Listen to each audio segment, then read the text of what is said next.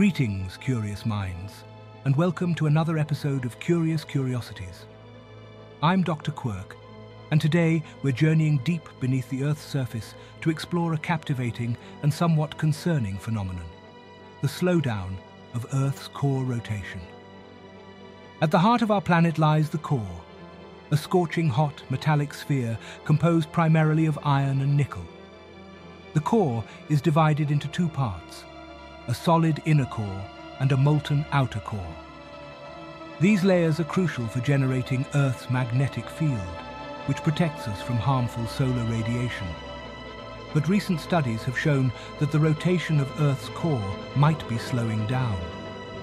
This discovery has sparked intrigue and concern among scientists worldwide. Using seismographs and advanced computer models, researchers have detected subtle changes in the timing of seismic waves traveling through the Earth. These changes suggest that the inner core's rotation, which usually moves slightly faster than the Earth's surface, is now decelerating. While this may sound alarming, it's essential to understand that the core's rotation fluctuates over long periods. This slowdown might be part of a natural cycle, influenced by the complex dynamics between the inner core, outer core, and the mantle. So, what does this mean for us? One of the most immediate concerns is the impact on Earth's magnetic field.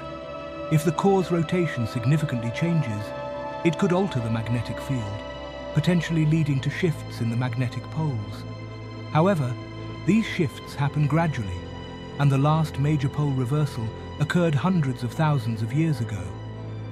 While such changes could affect navigation systems and animal migration patterns, they are unlikely to pose an immediate threat to life on Earth. The big question remains, should we be worried? The short answer is no.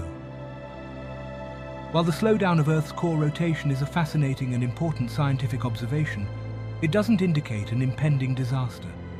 It's a reminder of the dynamic nature of our planet and the intricate processes happening beneath our feet. Scientists continue to monitor the situation closely, and ongoing research will help us better understand these deep Earth processes. So, rest easy, dear viewers. Our planet is a complex and resilient system. Thank you for joining me on this subterranean adventure.